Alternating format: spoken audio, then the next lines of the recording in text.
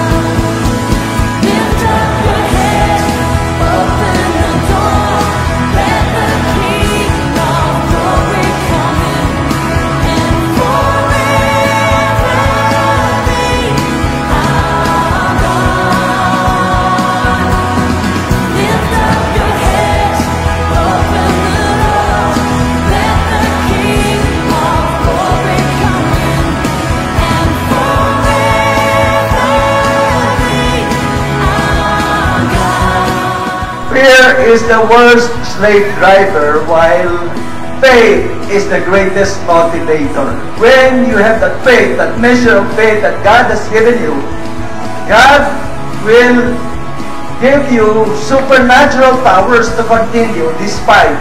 If you seek God, fear cannot stay in your hearts.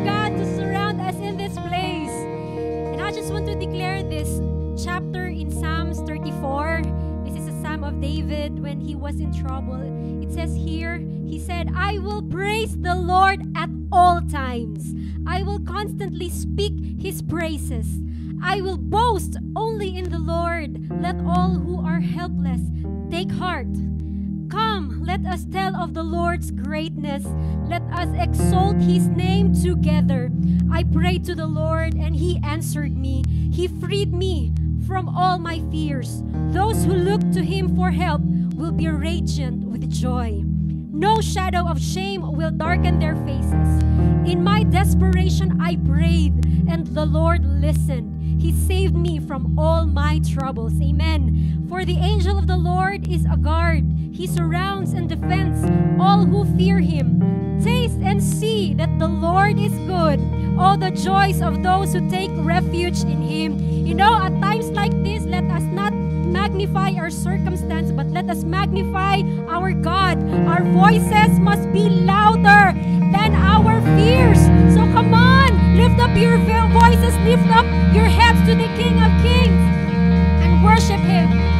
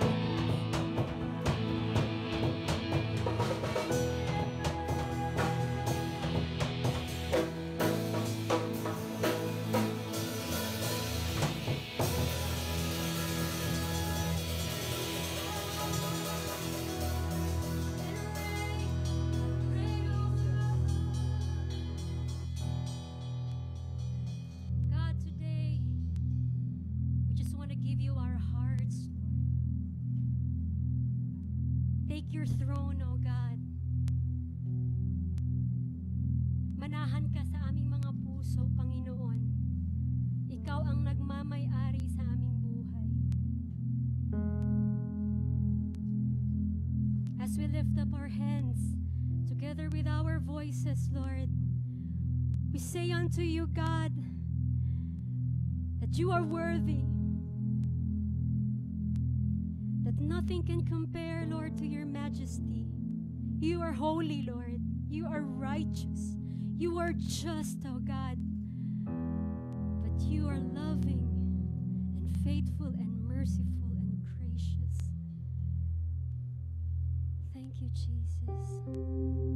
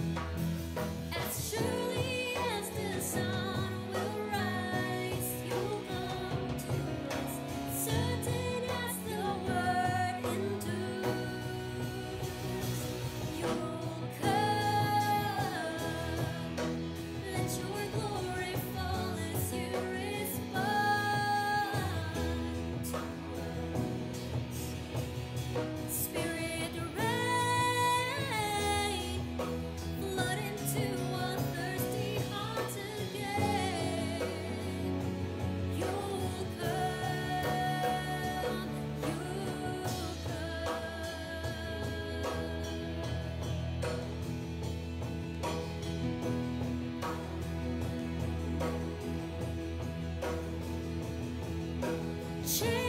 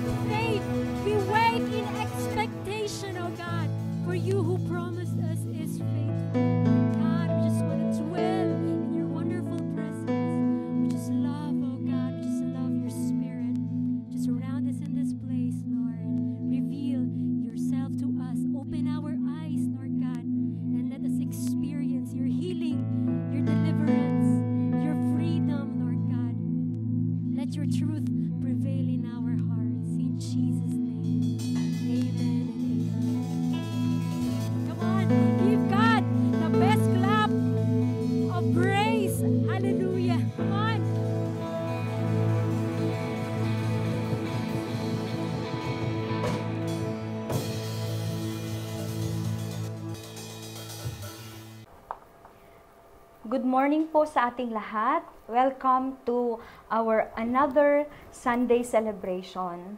Ngayon po ay makikinig tayo sa salita ng Panginoon and before we will start the sharing of the word, let us all together pray in your homes, in your seats right now. Maari po bang, kung meron kang katabi, kasama mo yung pamilya mo, maari bang hawakan mo ang kanyang kamay and let's pray for one another.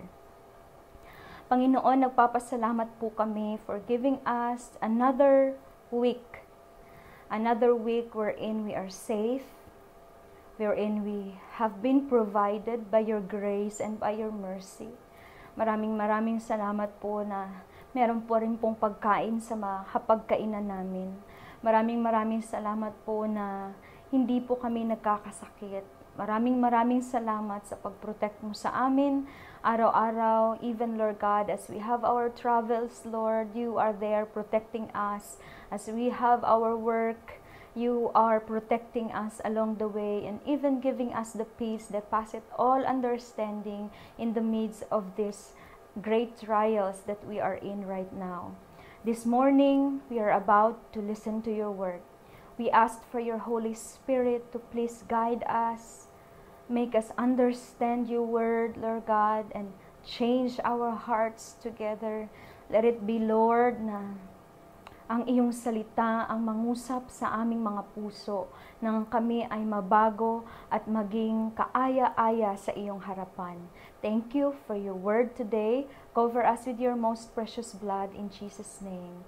Amen and amen. Minsan pa, sabihan mo yung katabi mo, magandang umaga sa As we are undergoing this quarantine, yung itong period na to, maraming bagay po akong na-realize. I have observed a lot of things. At uh, isa sa mga na-observe ko is that uh, God allowed us to walk our days on our own hands. Ano po ang ibig sabihin nito? In these days of silence, or shall we say, for the most of us na hindi frontliners, days of rest. No? Parang binigyan tayo ng Lord ng napakahabang pahinga. The days of silence or rest for the most of us becomes the test of faithfulness to our Lord Jesus Christ. Yan po yung aking naobserbahan na itong pahinga ay naging uh, um, avenue of a test for all of us to remain faithful to our God. Why? Why? Why did I say that? Because we have all the time that we we we can do what we want in our homes. Lalo na po na nasa bahay po tayo, na comfortable po tayo sa kung ano ang gusto nating gawin. No? I consider it to be a secret place for all of us, wherein you can be yourself. Uh, hindi ka na hindi kayo nagmi-meet sa cell group, walang Sunday service, walang pumupunta sa trabaho, walang routine na nangyayari sa'yo everyday na nakasanayan mo na. So you are in your comfort zone. However, along with this freedom, or along with this rest, is the offer of relaxing and lowering our guard against any attacks of temptation to dwell on things that are not pleasing before God. Or developing a lifestyle that would lead us sinning before God. Ganyan naman po kasi talaga yung kasalanan. Hindi po siya agad-agad dumarating sa atin. But it start with a lifestyle, a simple uh, routine na hindi naman siya kasalanan nung una.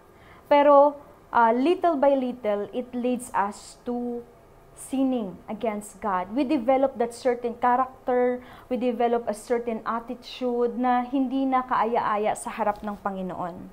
Later, if we will not be careful, yung mga lifestyle na to will lead us from our uh, will lead us to our separation from the very presence of our heavenly Father itong lifestyle na to will entangle us.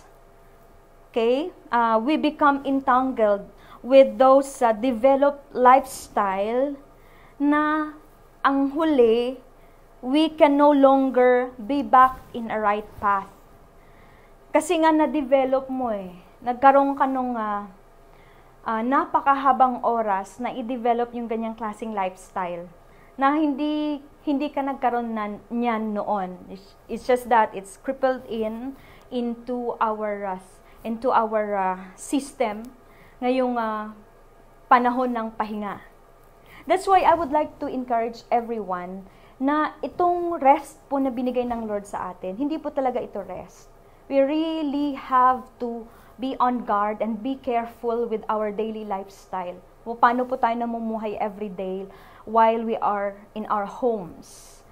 We should not lower down our guards. Why? No? Upon meditating this, na-realize ko that there is a certain story in the Bible that is very familiar to all of us na nagkaroon na din ng ganitong klasing scenario, which is the story of Adam and Eve in the Garden of Eden. Alam natin na napakasarap ng buhay nila doon. Walang ah, problema, lahat provided for them. And then, uh, here comes the temptation. So, yan yung pag-aaralan natin this morning. Genesis chapter 3, verses 1 to 13. I will be reading from the New King James Version. If you have your Bibles with you, you can open it. Kahit hindi tayo kaparehas ng uh, translation, but uh, um, ma, ma, makuha din po niya ninyo. From verse 1.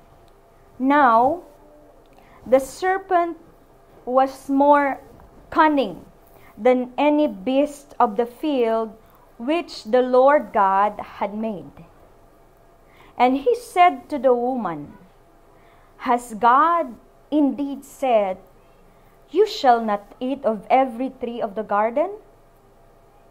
And the woman said to the serpent, We may eat the fruit of the trees of the garden, but of the fruit of the tree which is in the midst of the garden, God has said, You shall not eat it, nor shall you touch it, lest you die. Then the serpent said to the woman, You will not surely die. Parang narinig mo na yan, ano? You will not surely die. For God knows that in the day you eat of it, your eyes will be opened, and you will be like God, knowing good and evil. So, when the woman saw that the tree was good for food, that it was pleasant to the eyes, and a tree desirable to make one wise, she took off its fruit and ate. She also gave to her husband with her, and he ate. Then the eyes of both of them were opened, and they knew that they were naked.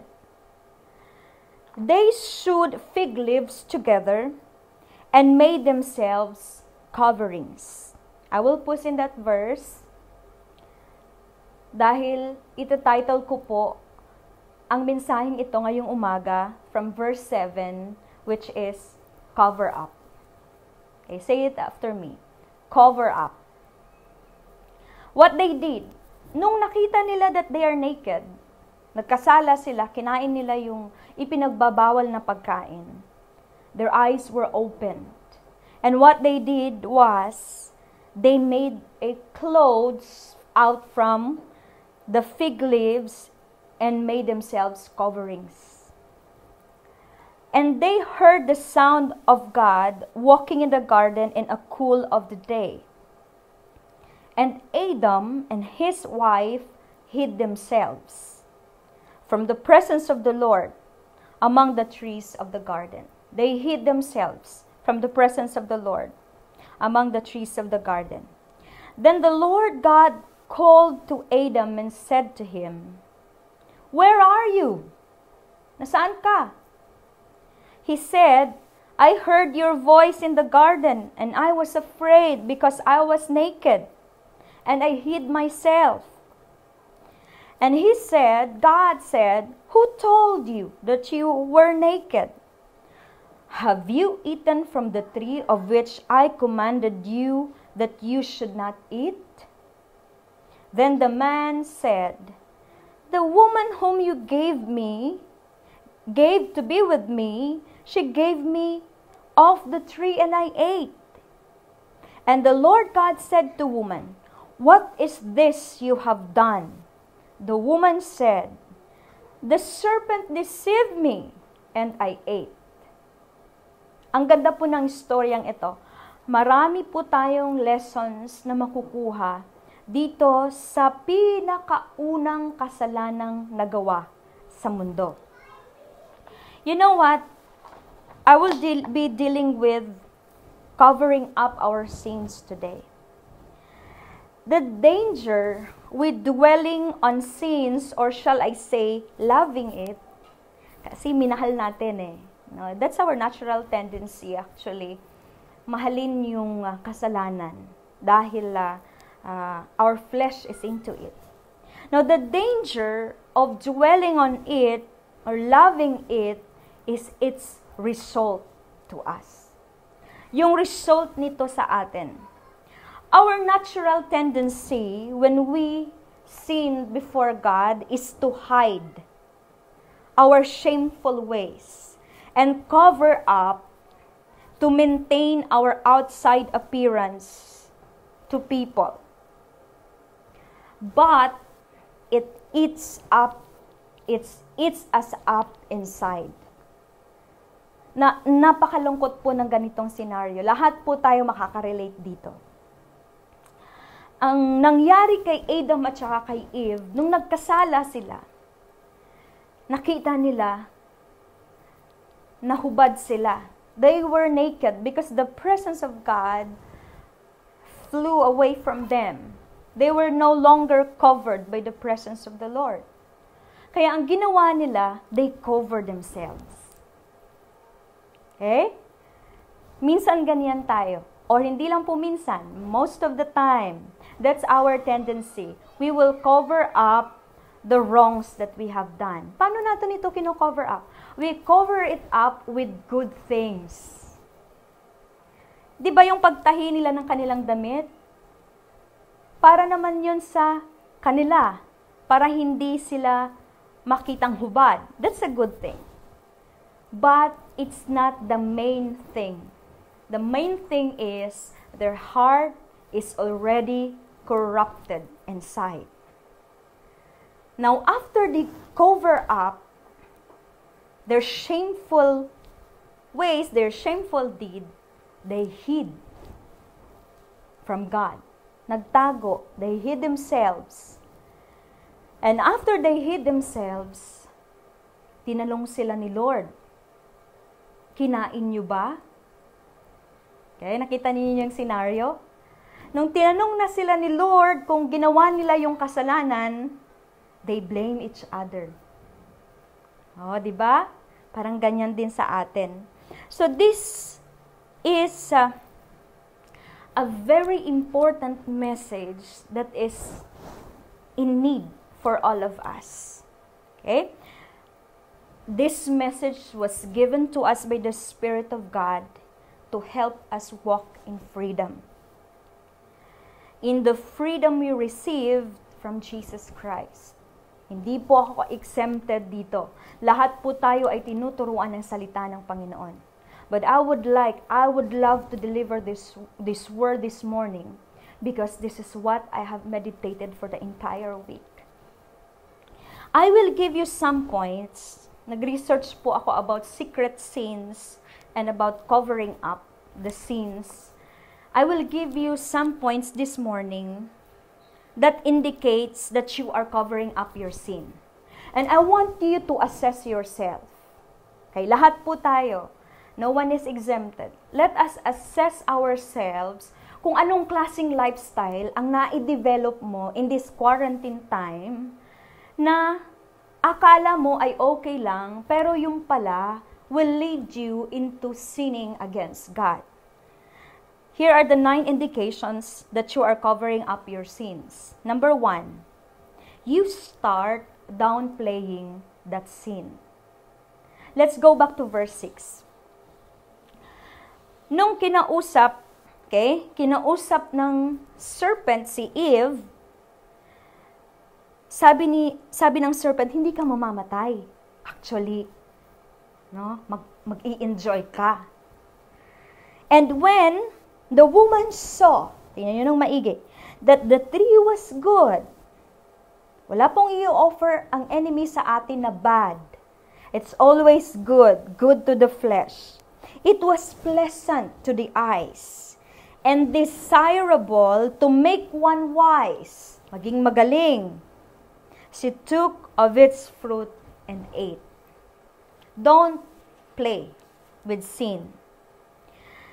You are covering it up when you start downplaying the sin.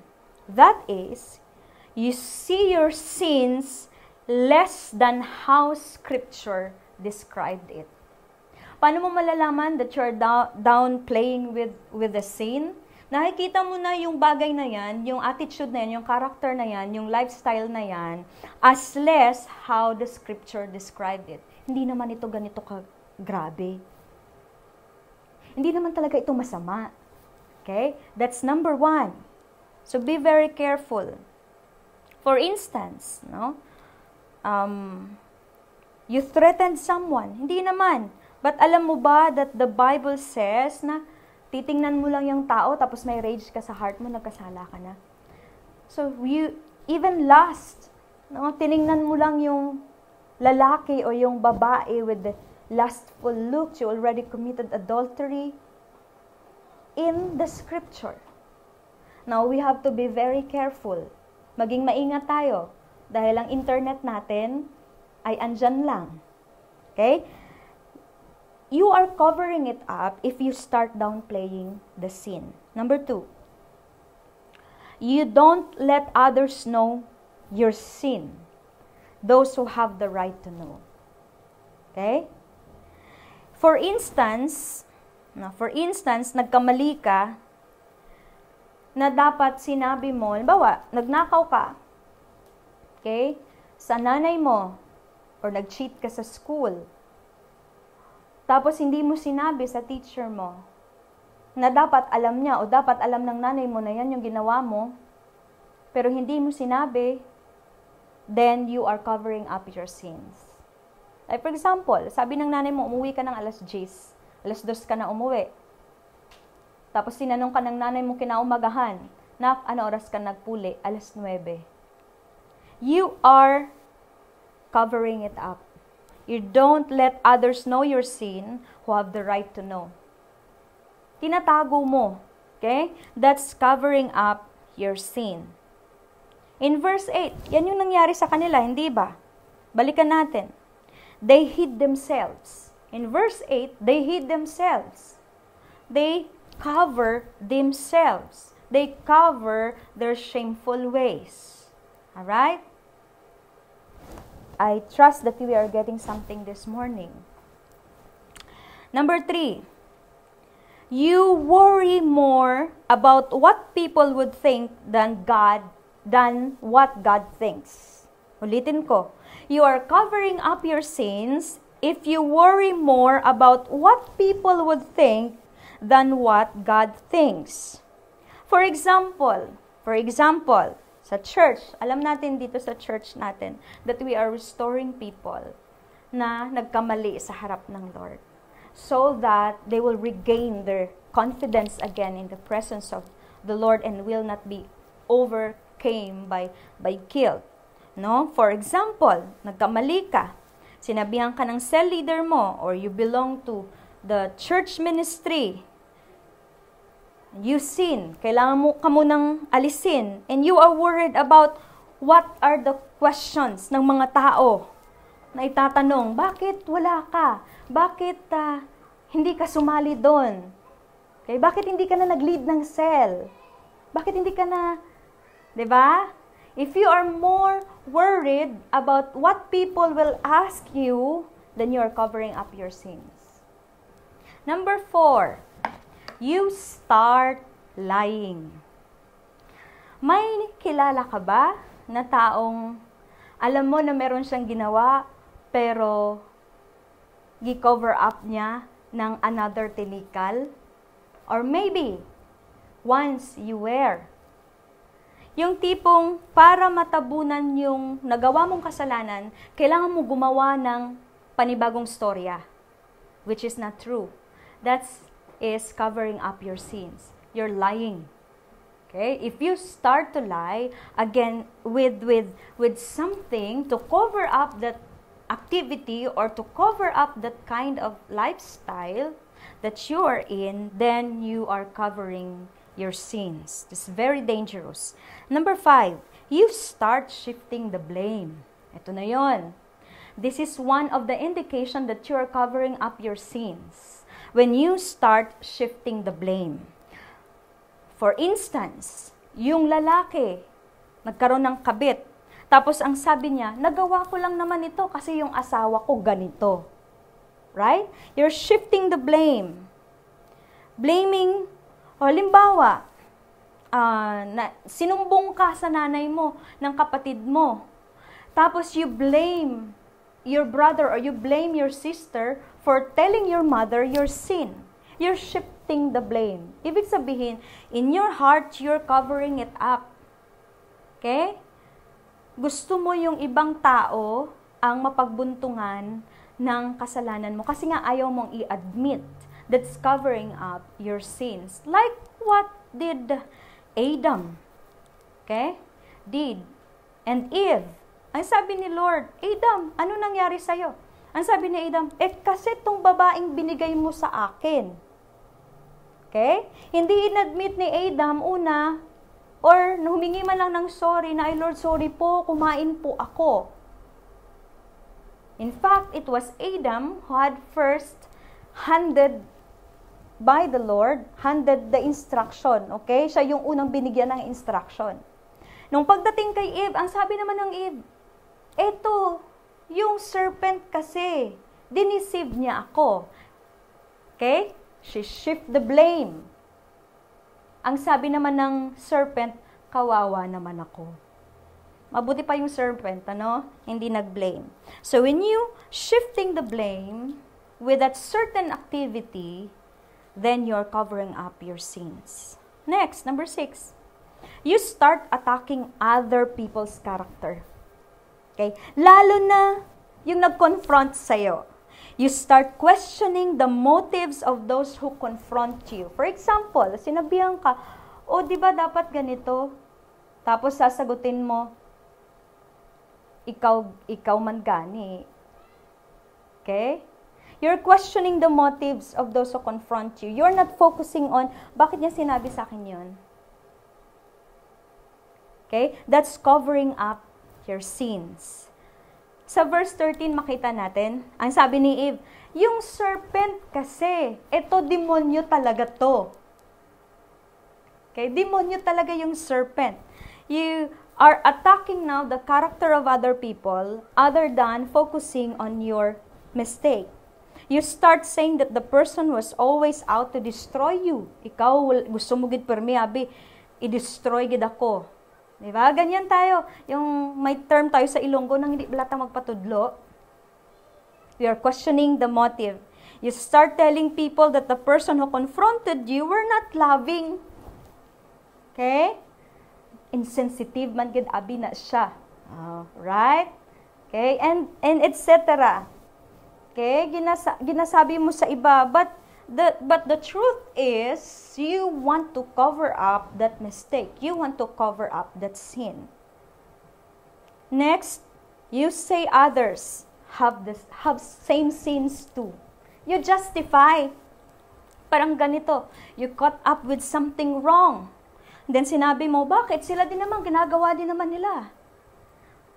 You see? If that is your attitude, if that is your character, then you're covering up your sin. It's very dangerous. Ne- next, two na lang, malapit na.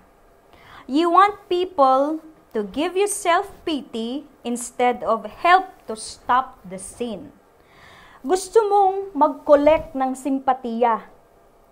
If you are doing like that, then you are covering up your sin. You want people to take your side to the point that you don't want people to speak to you about God's take on your sins.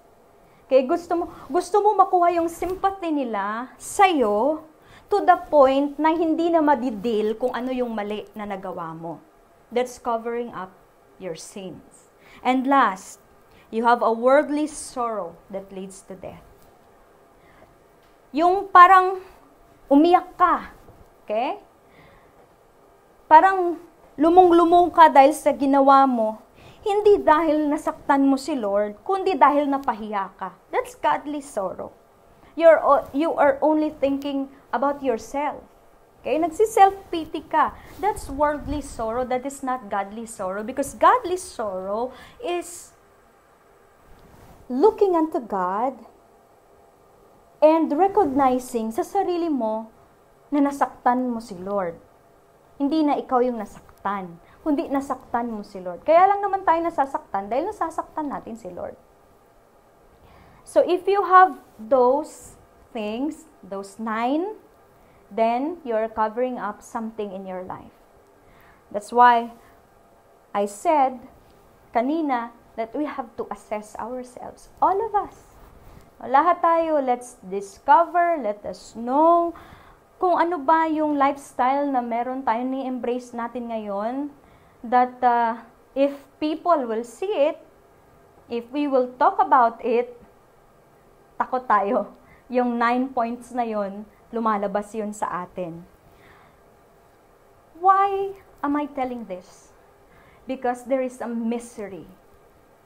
Okay, the, the yung sinabi ko kanina, yung pinaka-grabe kasing mangyari dito, yung resulta sa atin ng kasalanan. The misery of sin.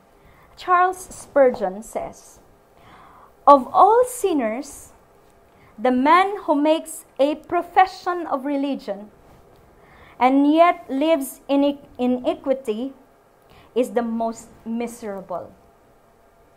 Ulitin ko po. Of all sinners, The man who makes a profession of religion, nagko-cover up, ko-cover up ng good things, gumagawa ng magagandang bagay just to cover up the sin. Profession of religion, and yet lives in iniquity is the most miserable. Mas maganda pa yung taong aamin, ah, o amugid, may batasan gid ko nga amo siniba, pasensya na Kaysa sa to nagapakita ka nga, hindi. Pero sa sulod mo, amo kagali sina. Okay? It's, it's a misery. That's life of miserable. But you know what? There is a promise. There is a cure for that. Pinakita sa atin ng Panginoon kung gaano ka miserable yung pwede nating mapuntahan if we will not expose those kind of lifestyle and sin in our lives. Okay? Mawawala yung joy natin, mawawala yung strength natin, most especially our confidence before God in our prayer time will be loose. Matatakot ka kung sasagutin ba ni Lord yung prayer mo dahil na alam mo in your heart that there is something wrong. But there is a promise when we confess it before the Lord. You know, it is for freedom that Christ set us free. In Psalm 32, verse 5, David said, Then I acknowledged my sin to you and did not cover up my iniquity. I said, I will confess my transgressions to the Lord, and you forgave the guilt of my sin. The only cure for this miserable kind of life, the religious way of living, is confession. Admit it.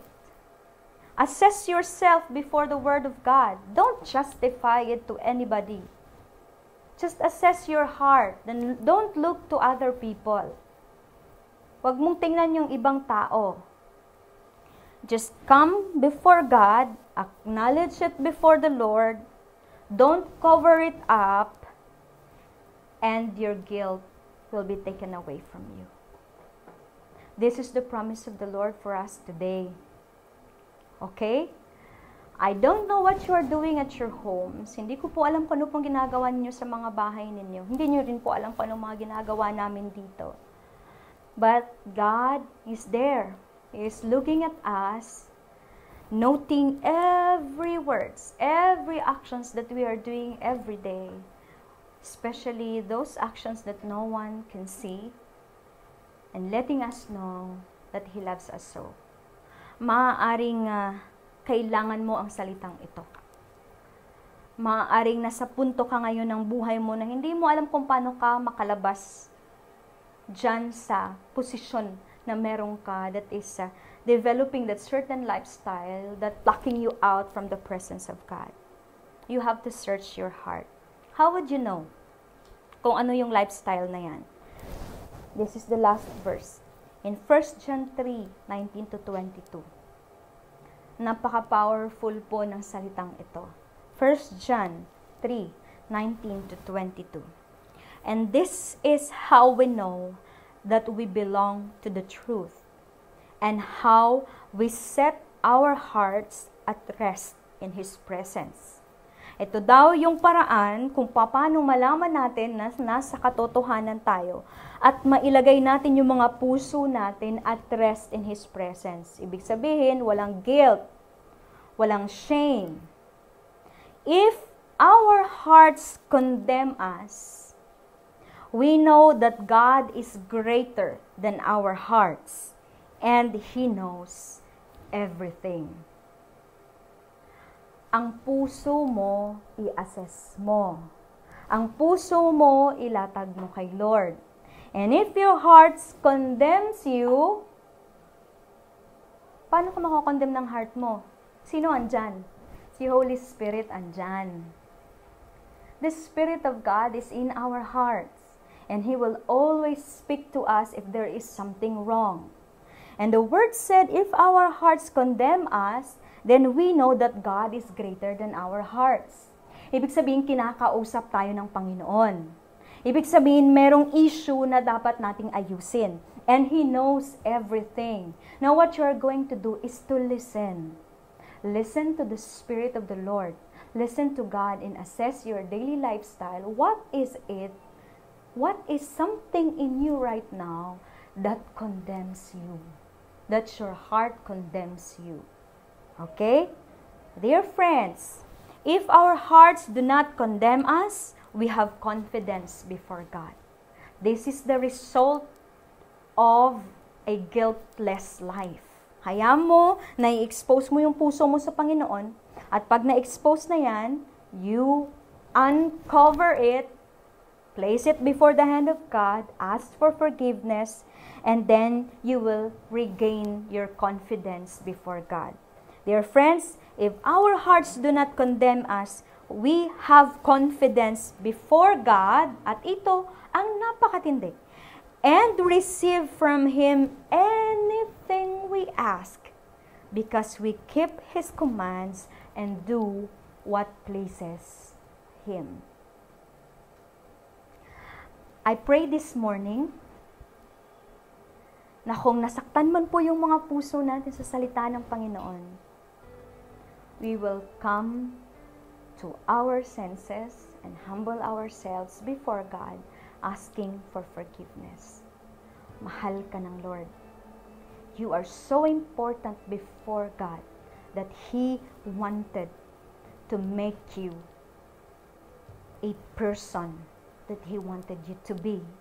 And that is a person who will walk with Him day and night with no shame, hindi magtatago, hindi magko-cover up, but walk with confidence in the presence of God and receive every blessings that God had prepared for each one of us. I love you. Mahal kita, kaya ko sinasabi ito. At mas mahal ka ng Diyos kaya niya binigay sa atin ang salitang ito ngayong umaga. I will pray. Let's pray together. Let's go back to the presence of God. Let's dwell in the presence of the Lord. And let the presence of God and the blood of Jesus cleanse us once more and start a brand new day with our Savior. Thank you, Jesus. Thank you, Lord, that your blood washes every sins. Our sins of yesterday, our sins of today, and our sins of the future. But God, you had given us the command to confess it before you so that we will be forgiven. Lord, humihingi po kami ng tawad sa lahat po ng na-develop na lifestyle na pag-uugali in this uh, quarantine period or maybe noon pa, ngayon lang na-expose that will lead us to be separated from your presence. Tulungan niyo po ang bawat isa sa amin. Allow us, O Lord God, to assess ourselves individually, personally, so that we can see and we will experience the confidence, we will experience, O Lord God, the grace, we will experience, Heavenly Father, the freedom that you have given us on that cross. Maraming maraming salamat po. Muli, Jesus, tinatanggap kita bilang Diyos at tagapagligtas ng aking buhay. Come, Lord, into my heart Assess my heart. Search my heart. Know if there are wicked ways in me. And lead me to the ways everlasting. Allow me, Lord, to experience your presence this week. And allow me, O Lord God, to be confident and trust you in all your ways, in every way, in every day of my life. Maraming maraming salamat po in Jesus' name. Amen and amen. Continue bowing your head and I will pray for you. Panginoon, andito po kami. We humble ourselves before you and we are asking, Lord God, for your mercy. We plead for the blood of Jesus to wash us again and give us a renewed spirit, a heart, O Lord God, that is pleasing before you. Change us, Lord, like you had promised to Ezekiel, that you will remove from us the heart of stone and replace on us the heart of flesh. Let it be, O God, that starting today, we will be more careful with everything that we will do in our lives that is, Lord God, that would please you. We will make it a goal to honor you. We will make it a goal to glorify your name. Bless everyone in every homes. Right now, I ask for your provision I ask for your blood for protection and I ask for salvation. In Jesus' name, Amen and Amen. Maraming maraming salamat for being with us this morning. Please, please po, pagkatapos po nito, click like and then share para marami po ang maka-experience ng ating Sunday celebration.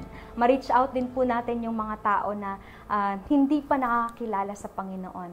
Okay? Ulitin ko po. Like. Ayan, gawin mo na. And share.